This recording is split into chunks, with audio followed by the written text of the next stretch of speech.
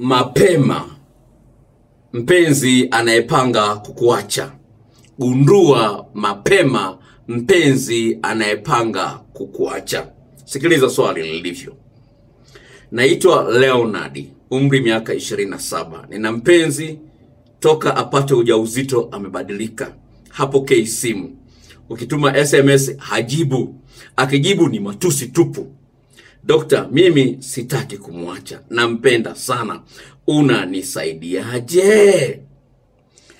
Unaweza kuona jinsi gani huyu kaka anasema kwamba huyu dada ana ujauzito na ujauzito huu anaamini kwamba ni wa kwake, lakini dada huyu amekuwa mkali, anamtukana maneno kwa maneno mbalimbali, amemkatisha tamaa.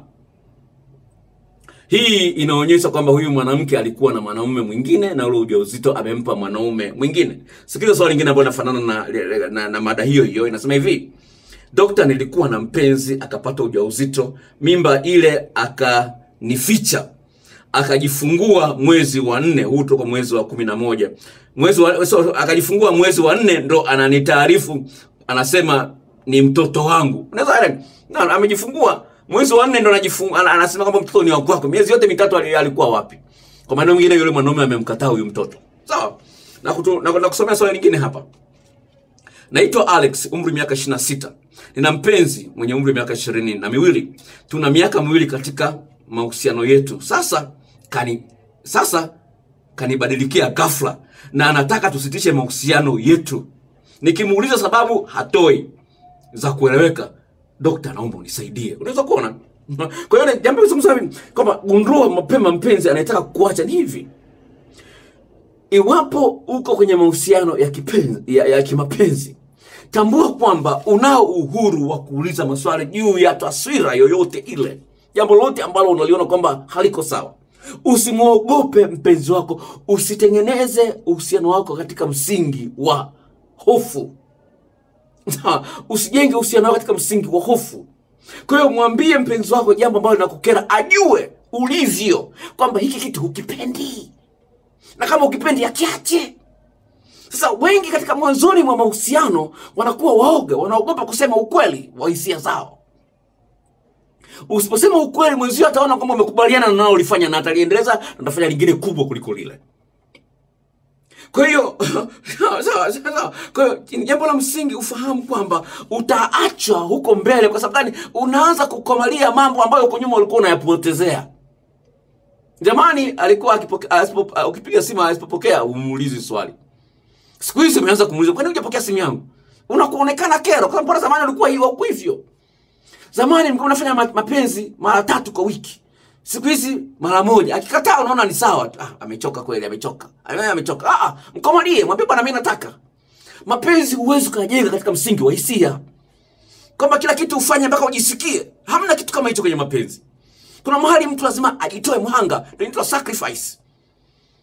Sawa, kupokea ni rahisi, kutoa ndio kazi. Sawa, sawa. Dada, moja Celine Dion akaimba wimbo If you want be my lover, you've got first be my friend. Making love forever, friendship never ends. If you want be my lover, you have got to give. Taking is too easy. the other way. Tunasema kama unataka kuwa mpenzi wangu, kwanza kuwa rafiki. Utakuwa mpenzi wangu, lazima ujifunze kutoa. Kupokea ni rahisi. Kwa hiyo lazima ufahamu kwamba mpenzi wako atakubadilikia iwapo utashindwa kumfundisha jinsi gani ya yeye kuishi na wewe. Onyesha uhalisia wako. Kwa hiyo unapomwambia ukweli akawa mbishi au anabadilisha mada, maana yake ni kwamba huyu uko mbele atakuacha, atakuwa na wewe kero. Sawa, uko mbele atakuacha. Kwa hiyo onyesha uhalisia wako, na unapoonyesha uhalisia wako ndipo utakapogundua mapema mapema kwamba huyu mtu ni wa aina gani. Utagundua mapema kwamba huyu mtu ni wa aina gani. mtu anapomkaa kimya, oh, sawa, kaa kimya. Kama ametoa hewa mbaya, sawa, ni hali ya kawaida, lakini kuna mambo mengine. Wewe mtu unampigia simu, apokee simu zako, unatuma meseji zako, hajibu, alafu unasema wewe unampenda. Mkomalie, mwambie hii tabia ishe, sitaki. Sawa, sitaki mwambie komaa Tabia sitaki. So dokta, mpenzi wangu anijibu meseji zangu, sijibu hiyo meseji. Ukitajibu wewe wewe tu meseji yake, utalia hela yako, Vodacom wataf- watafaidika. Hizi meseji sijibu, mpenzi wangu sikilizeni, apokee simu zangu, sijui nani. Hiyo swali sitajibu. Mwanake kuna vitu ambavyo haviko sawa. Umemlea, usimlee mpenzi wako akaona kwamba kila kitu unaweza kukubaliana nacho tu. No, lazima uonyeshe uhalisia wako bwana. Hiki kitu bwana kinafanya nisikie vibaya, achana nacho. Kama unataka kuachana basi niachana wewe. Kama dada kaka mmoja anamwambia mpenzi anamwambia mke wake.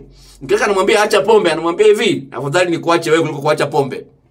No, no, no. Sasa ni afadhali kukuacha wewe kuliko kuacha pombe. Huyo ame- ameipenda pombe.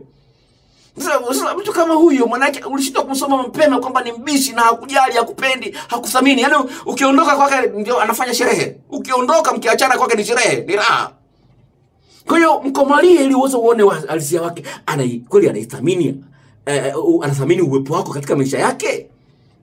Anathamini uwepo wako katika maisha yake. Kama athamini ndio hapo anajibu jeuri jeuri. Maana ukiondoka kwake ndio faida, umemwachia uhuru. Hilo ni jambo la msingi. Naona na muda wangu umeniishia hapa, na naomba nijibu swali la mwisho hapa, nijibu swali la mwisho. Kujichua na dudu kusimama legelege. Kujichua na dudu kusimama legelege.